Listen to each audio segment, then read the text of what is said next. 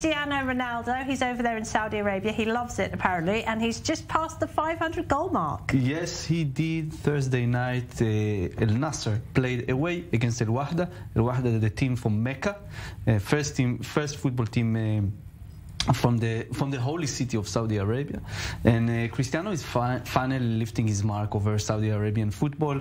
He scored a super hat trick, which means four goals in one match. He crossed, as you as you mentioned, uh, the 500 goals mark, uh, league goals in his career. Obviously, he scored uh, 800 and 24 goals all over his, his uh, football nice. career, yes.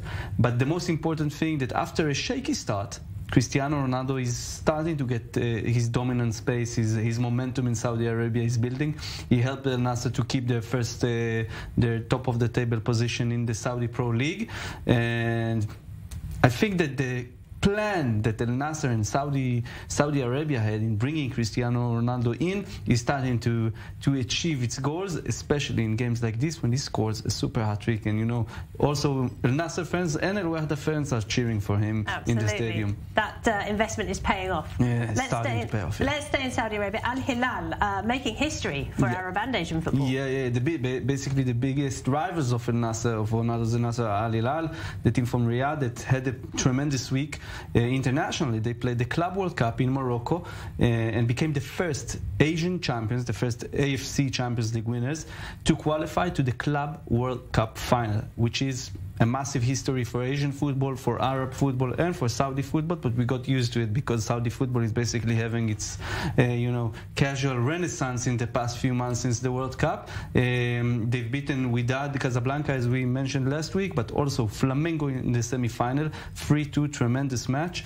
And in the final, they played against Real Madrid. They lost 5-3, but their performance was distinguished very respectful. They managed to get a, a lot of standing ovation from world football. That suddenly noticed that Saudi Arabia is not only this national team who managed to beat Argentina in the World Cup, but also successful football clubs such as Al Hilal. And it's funny because you know El Nasser of Ronaldo, he has uh, the nickname El Alami. El Alami means the international. Going back to the 2000, the first Saudi team to play against Real Madrid. So Hilal basically took over this nickname in the past weekend because they play against Real Madrid in the final of the Club World Cup, bringing a big name and uh, upping, uh, boosting the reputation of Saudi football in the world, basically. So the European players are going to the Middle East. Uh, Middle East money is coming more and more to Europe. Uh, the Emirates already own um, Manchester City, Yes. right?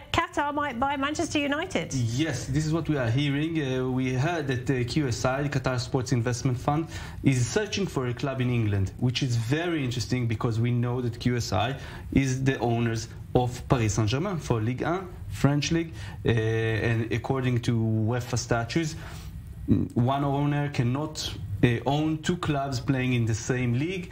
But now we are hearing there is a move behind the scenes from Qatar to buy Manchester United, not through QSI, but from a different body or a different fund that they will uh, they will build, they will uh, establish, and it will be interesting to see because we know Manchester United is for sale. Manchester United is one of the biggest brands in world football and maybe the world uh, at the general.